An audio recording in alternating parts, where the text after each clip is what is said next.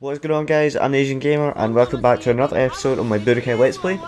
So we're getting really close to the end of the game so try and make these episodes a bit better than before and try not to die so much.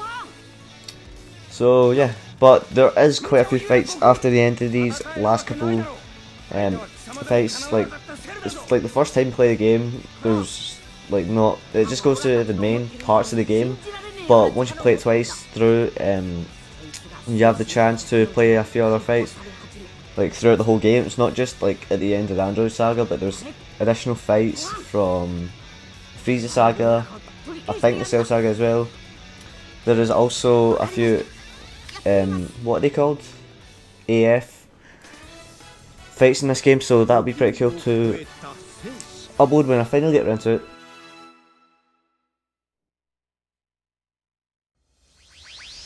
But anyway, here we go. I'm guessing this will be the second last fight of the main story, but I'm not sure so.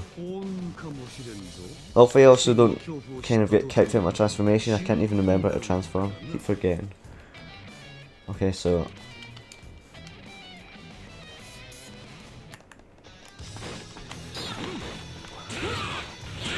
Uh oh.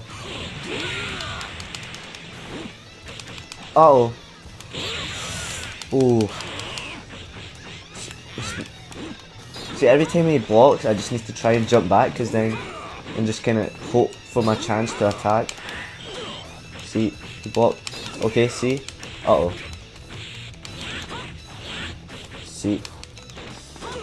I see he's blocking, so, you know, every single time that happens, I just keep trying.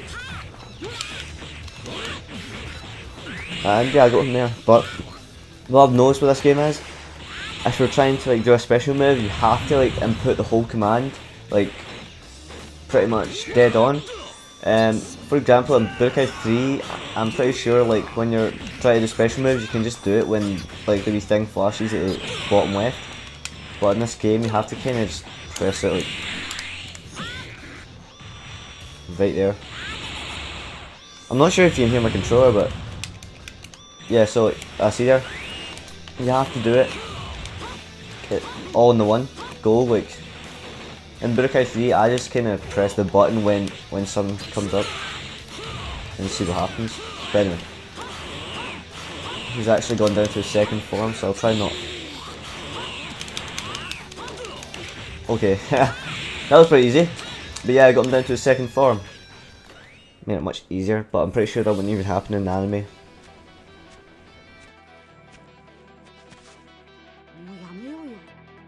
な戦い意味がないよ。僕は本当は戦いたくないんだ。殺したくないんだよ。お前みたいなひどいやつでも。僕には分かってきたんだ。父さんがセルを倒せるのは。僕だけだって言ったことが。僕は昔から怒りでカッとなると自分の意志を超えてとんでもない力でめちゃくちゃな戦いを始めてしまうらしいんだ。だから I also looked at a clip of this game not that long ago and I now remember the old soundtrack that was on this game. So that's pretty interesting to hear the difference. It's actually quite a lot different than this game. Because if, yeah, I mentioned this in a previous episode, but they uh, changed the whole soundtrack for this game basically, so I might make a video comparing the two later on. Not sure, but I might.